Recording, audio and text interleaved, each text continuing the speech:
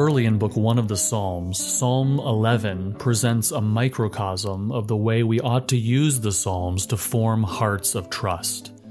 Psalm 11 is positioned in the middle of a series of laments about the wicked that extends from Psalm 10 through Psalm 14. They paint a very bleak picture of wicked people flourishing, Psalm 10. God seems to be far away, Psalms 12 and 13. And the tragic reality that, quote, there is none who does good, not even one. Psalm 14:3. The editors organized these psalms in a particular way for a particular reason. And so these laments are meant to work together to contribute to the image that God wants us to have of life under his rule in the midst of a wicked world. What are we to do? How can we praise the Lord when this is the reality? Well, this is exactly the question Psalm 11 asks. Look at verse 3. If the foundations are destroyed, what can the righteous do? Now, what does David mean here by foundations? This is a metaphor. Psalms don't just come out and state things like more prosaic passages of Scripture do, because the purpose of the Psalms is to shape our image of reality, our hearts, and so Psalms use imagery to do so. What does this image of foundations picture? This image is often used in the Psalms and throughout Scripture as a metaphor for the order of society, an order that God established at creation under the mediatorial rule of Adam. Even after the fall, God reestablished those foundations of order in Genesis 9 to provide a system of righteousness that is the basis for the flourishing and civilized society that will work. Sin will be punished as God intended, and righteousness will be rewarded as God intended. Another way to say this is that the foundations of which Psalm 11 speaks is the proper image of blessedness under God's rule, mediated through just vice regents. This is how God designed things to be. When a society is built on righteousness, it will flourish. Righteousness and justice are the foundation of your throne, the psalmist proclaims in Psalm 89:14. Proverbs 14:34 says, "Righteousness exalts a nation." Proverbs 16:12 says, "A king's throne is established by righteousness." These are universal principles established by God that apply to all societies. And when societies destroy that foundation, they crumble. This is exactly what this series of laments is describing. In arrogance, the wicked hotly pursue the poor, Psalm 10:2. The faithful have vanished from among the children of man. Psalm 12:1. God seems to be absent. Psalm 13. There is none who does good. Psalm 14:1. Or as Psalm 11:2 describes it, the wicked bend the bow, they have fitted their arrow to the string to shoot in the dark at the upright in heart. The foundations are destroyed. What can the righteous do? God's people have often lived through times like this, civilization after civilization. David lived through it, and the people of exile experienced it in their exile. And do we not live in a similar age? At times, various nations enjoy systems and laws that are consistent with the way God designed things to work, and as such, this nation has flourished. But the foundations are crumbling, are they not? All around the world, nations are being led by people who set themselves against the Lord and his anointed. What can the righteous do?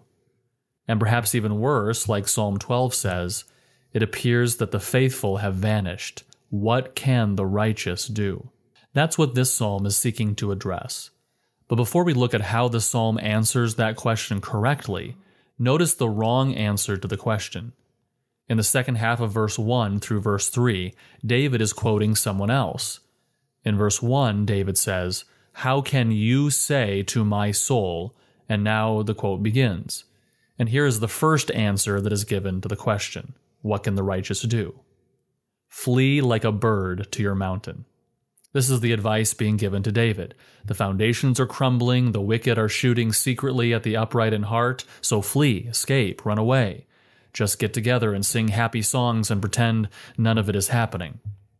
This is how God's people unfortunately often respond to the reality of sin and wickedness around them. They seek escape. There are many ways this kind of escapism manifests itself, but it is perhaps no more evident in how many Christians worship today, especially what we sing. Much of contemporary worship music in churches today ignores the reality of sin and wickedness, instead, presenting a happy, clappy, escapist, feel good image of our lives. If churches today use psalms at all, they usually use only snippets from the exciting psalms rather than all the Psalms. Music and worship has become, for most Christians, an enjoyable diversion at best, meant to take our minds off the hard realities of life. Poetry and music are treated merely as means to excite us about doctrine or make doctrine more interesting. Indeed, lament is all but absent from modern worship.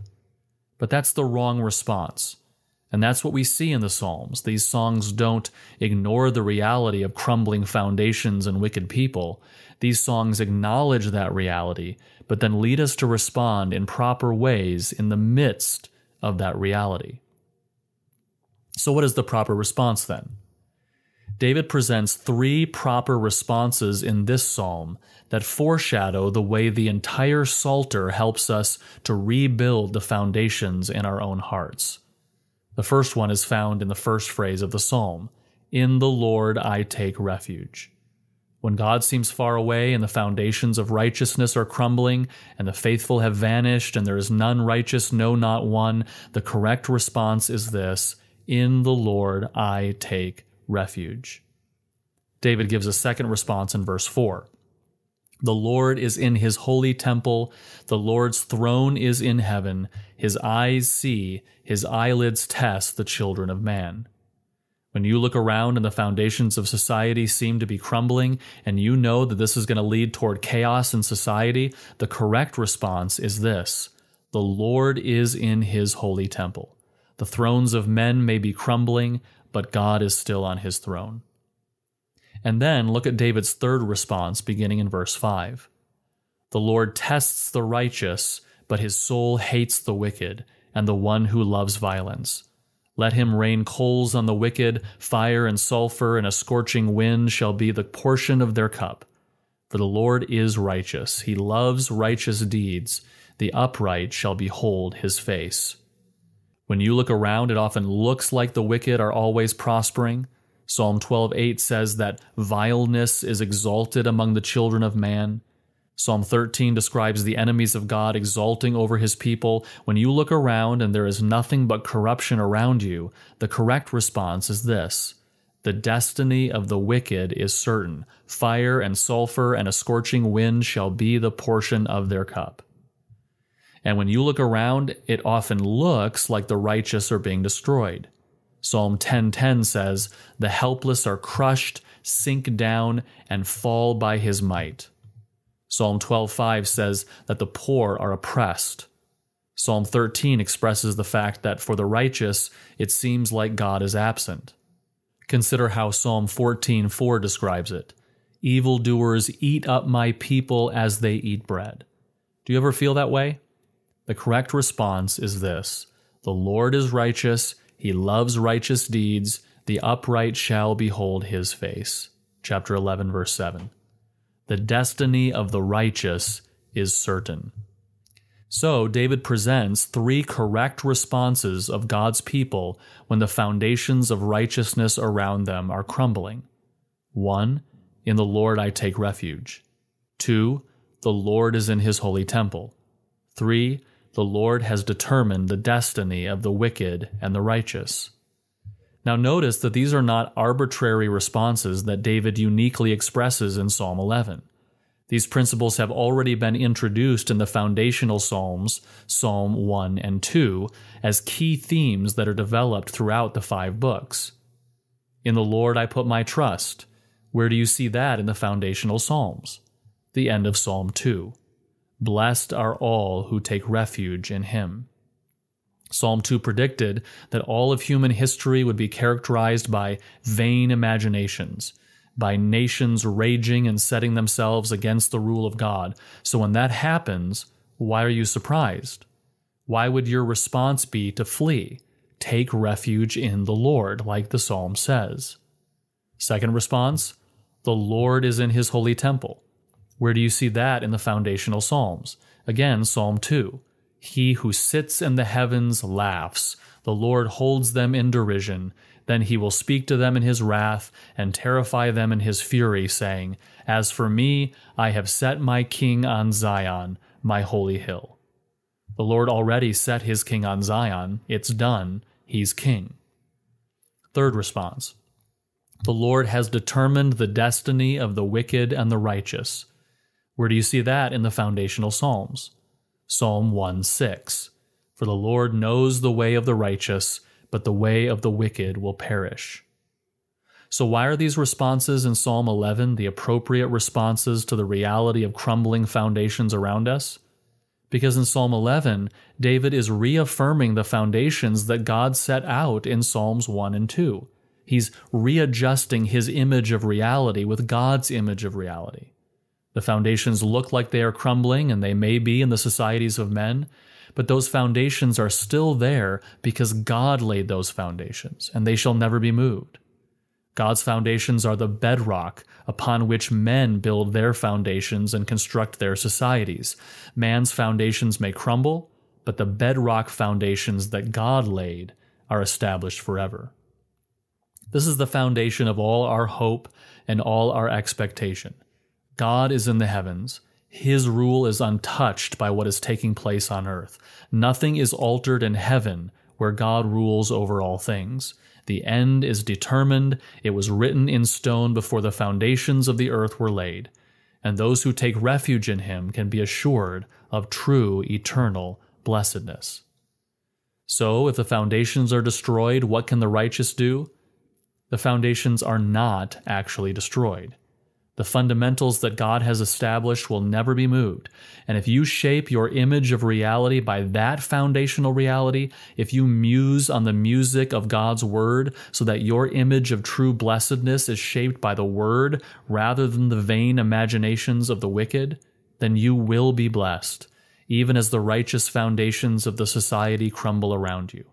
You will be able to say, The Lord is king forever and ever, the nations perish from his land. Psalm 10:16.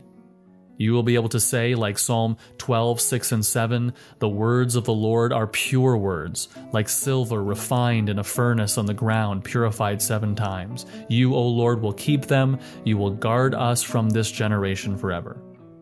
You will be able to say with Psalm 13, 5 and 6, But I have trusted in your steadfast love. My heart shall rejoice in your salvation. I will sing to the Lord, because he has dealt bountifully with me. You will be able to say with Psalm 14, 5 through 7, God is with the generation of the righteous. The Lord is his refuge. When the Lord restores the fortunes of his people, let Jacob rejoice, let Israel be glad.